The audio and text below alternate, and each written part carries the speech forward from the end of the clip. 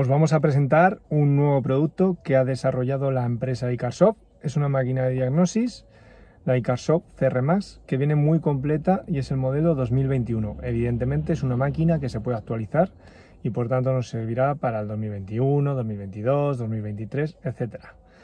Pero queríamos mostrarla en un vídeo porque nos ha parecido una máquina muy completa y muy profesional y a un precio más que razonable. Este es el panfleto que viene en el maletín. Eh, aquí directamente podemos ver todo lo que hace. Como podemos ver es muy muy muy completa. Y aquí las especificaciones técnicas, que bueno, esto es lo, típico de todas las máquinas, ¿no? Vamos a hacer un chequeo completo. Este coche en concreto es un Alfa Romeo. Es un Stelvio del año 2020 y vamos a ver que entran todos los módulos y cómo los diagnostica. Abrimos el maletín, Vamos a ver rápidamente que viene un manual de instrucciones. Está muy bien, pero vamos a ver que no lo necesitamos porque la máquina es muy rápida e intuitiva. Un cable, un conector para conectar la máquina a lo que es el coche. Otro cable que es un cargador de la propia tablet, porque esto es como una especie de tablet. Y la máquina, la CR Max. Como podemos ver es una especie de tablet. Tiene esto que es muy cómodo, para que puedas apoyarlo mientras diagnosticas. Y aquí conectamos el cable y al OBD2 al vehículo. Vamos a ello. Este terminal del cable va a la máquina directamente y el otro tan sencillo va al OBD2. Es el OBD2 de toda la vida. Aquí el menú más interesante evidentemente es el de diagnóstico, servicio. Este es para actualizar. Pero si sobre todo vamos al de diagnosis, Aquí elegimos la marca, ¿vale? Buscamos en este caso, vamos a analizar un Alfa Romeo, ¿vale? Alfa Romeo modelo Stelvio del año 2020. Primero lo que hace es entrar en la unidad y nos dice que si seleccionamos el vehículo o VIN Identity, lo seleccionamos por número de bastidor. Bueno, vamos a buscar aquí el modelo.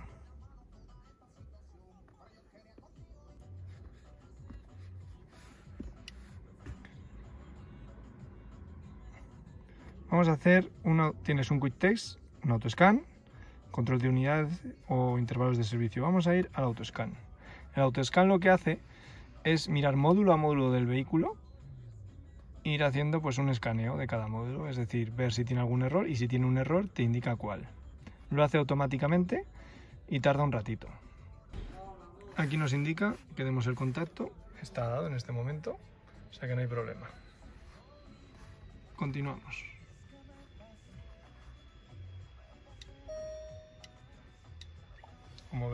Empieza a revisar todos los módulos del vehículo.